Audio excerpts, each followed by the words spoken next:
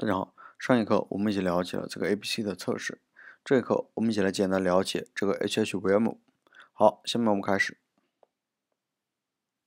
在零八年左右，Facebook 它就做了一件事情，将它的大量的 PHP 转换成 C 加加代码，用来提高性能，达到节约资源的一个效果。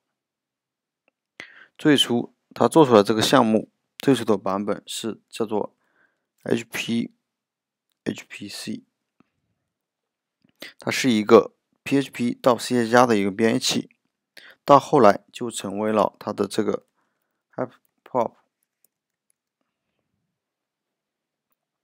而我们的这个 HHVM 呢，它是它实际上是一个 HipHop 的这个虚拟机。也就是它会把我们这个 PHP 代码转换成高级别的这个字节码，这个字节码也是中间语言啊。然后在运行的时候，通过我们的这个 Git 编译器，将这些字节码转换成 x64 的机器码。在一零年初，Facebook 因为这些问题做出了两个重大的决定。首先，它将 HipHop 开这个平台开源，通过这种方式来加快 HipHop 的发展。其次，Facebook 开始开发 HipHop 的更高版本，也就是我们这个 HHVM。HVM 它加强了代码的这个健壮性，还修复了许多重要的错误。它是在以前的这个基础上，这个 HPHPC 它的基础上构建的。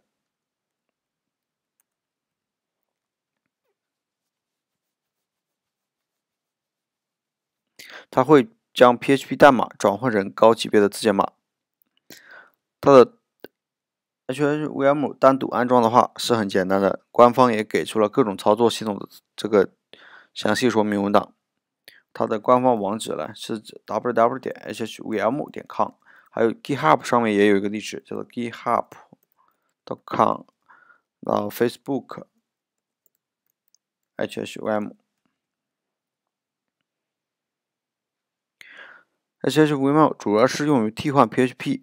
平常的这个，我们这个平常的这个 lamp，对吧？或者 nmap 架构，我们可以替换成 lnmh，因为后面这个 h 呢，也就是 e hop。好，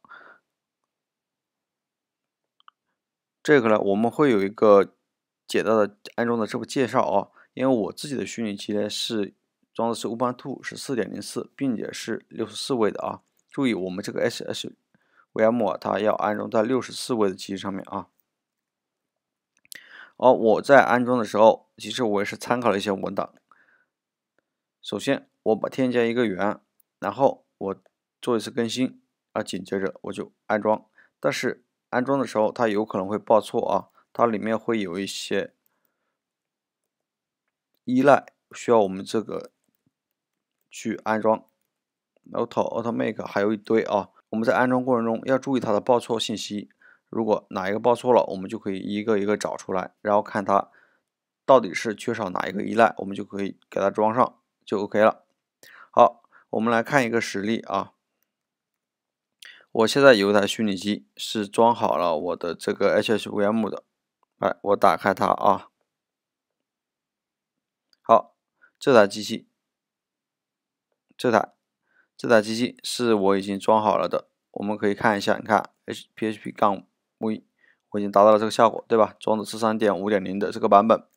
然后我再看一下我的这个 Nginx 下面，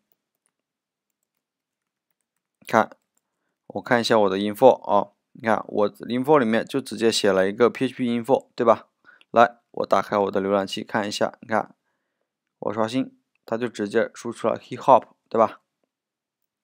好，然后回到我的这个目录，我们检查一下我这个 test CPU 的这么一个代码。你看，是一个简单的一个计算，是吧？斐波那契数列这么一个计算方式。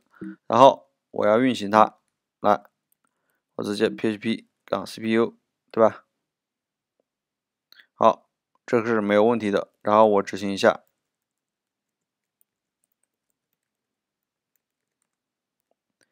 看、啊，它能零点七三二，这肯定是那个啊，肯定是因为我的 PHP 它已经是 hiphop 了，所以用的是 SVM 在执行，对吧？看、我可以这样执行它的，来，我们也执行一下。